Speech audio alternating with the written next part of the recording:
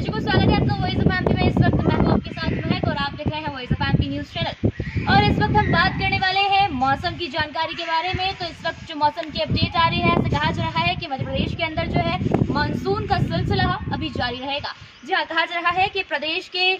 संभागों सहित कई जिलों के अंदर भारी बारिश जो है देखने को मिलेगी और 24 घंटे के अंदर प्रदेश में संभागों में जो हल्की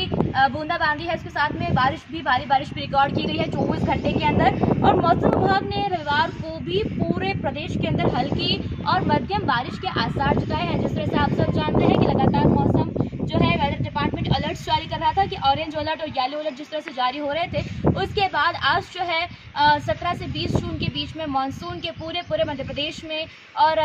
पूरे प्रदेश के अंदर आने की पूरी संभावनाएँ थी, आसार थे। जिस तरह से जो है आज 20 जून है और आज का ताज़ा अपडेट जो ये है कि अब जो है प्रदेश के अंदर मानसून की एंट्री हो चुकी है और पहले जो है अभी फ़िलहाल अभी भी मानसून का जो अभी सीज़न वो मौसम है जो फ़िलहाल बन ही गया है बारिश का जो मौसम है, सुहाना से अभी हवाएँ चल रही है और जो है काली घटाएँ भी आसमान में छा चुकी है, जिसके बाद अब सीधा लग रहा है कि कहीं ना कहीं अब तेज हवाओं के साथ में, आंधियों के साथ में काली घटाएँ छाने के बाद जो है बौछारें शुरू होंगी, जिसके बाद में बारिश जो है, भारी बारिश भी हो सकती है और लगातार अब जो है ये सिलसिला ऐसे ही जारी रहेगा और जो बारिश का दौर है, मानसून का जो दौर है, अब वो लगातार जारी रहेगा। जिस तरह से आप जान रहे हैं कि वेदर डिपार्टमेंट ने अलर्ट भी जारी किया है और आज भी भारी बारिश की संभावना जो है मौसम विभाग ने जताई है, अगले दो संभागों में जो है, चौबीस घंटे के अंदर भारी बारिश देखी जा सकती है। जी हाँ जिस तरह से आप जान रहे हैं। और ये था आज का ताज़ा वेदर अपडेट 20 जून का वेदर अपडेट इस तमाम जानकारी और लगातार बड़ी अपडेट्स के लिए वही फैमिली के साथ बनी रहिए। जय हिंद, जय भारत।